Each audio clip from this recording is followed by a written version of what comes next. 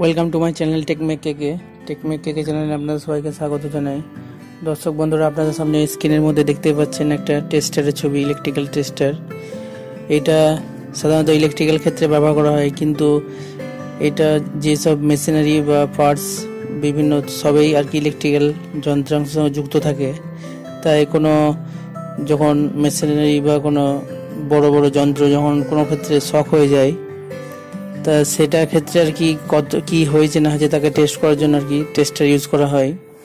এটা আপনার সবাই জানেন আর কি। তা capacity sensor element the tester use is the capacitor coupling to detect an electric field and is capable of the detecting the energized conductor whether in a complete circuit or not once the current flows to the ground the tester will indicate the presence of the voltage through the light or sound.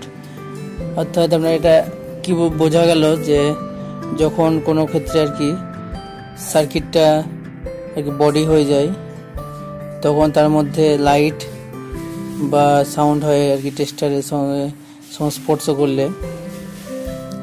তো আপনাদের এবার আমি দেখাবো যে টেস্টারের বিভিন্ন parts আছে, কি কি দিয়ে তৈরি টেস্টারের ভিতরে কি থাকে সেগুলো। এবার আপনারা দেখতে পাচ্ছেন একটা টেস্টের বিভিন্ন পার্টস প্রথমে দেখুন, একদম যেখানে আঙুল দিয়ে টাচ করা হয়, সেই অংশটাকে মেটালিক স্ক্রু থাকে এবং তারপরে থাকে মেটালিক স্প্রিং তারপরে থাকে নিয়ন বাল্ব এবং থাকে resistor on M M O on M O H M আর কি, আর একটা বডি আর নিচে থাকে মেটালিক আর পুরোটাই থাকে মেটালিক রডটাকে আর কি ইনসুলেটর লাগানো থাকে যাতে কোনো রকম শক না মারে। আর একটা পকেটে রাখার জন্য আর কি পকেট ক্লিপ থাকে। বন্ধুরা, আপনারা দেখতে পাচ্ছেন, আপনাদের সামনে একটা প্র্যাকটিক্যালি এবার টেস্টার রেখেছি এবং টেস্টারের বিভিন্ন অংশগুলো দেখাচ্ছি। প্রথমে বলি, এই যে দেখতে পাচ্ছেন, এই উপরের অংশটা, এটা মেটালিক স্ক্রু আর কি। এখানে টাচ করে টাচ করতে হবে যখন আর কি কোনো ইলেকট্রিকের তারের অংশে আর কি আমরা কোনো চেক করব যখন। এবং এর ভিতর দিয়ে কী থাকে এই অংশটা হচ্ছে, দেখুন, এই অংশটা হচ্ছে পেন আর কি পকেটে রাখার জন্য।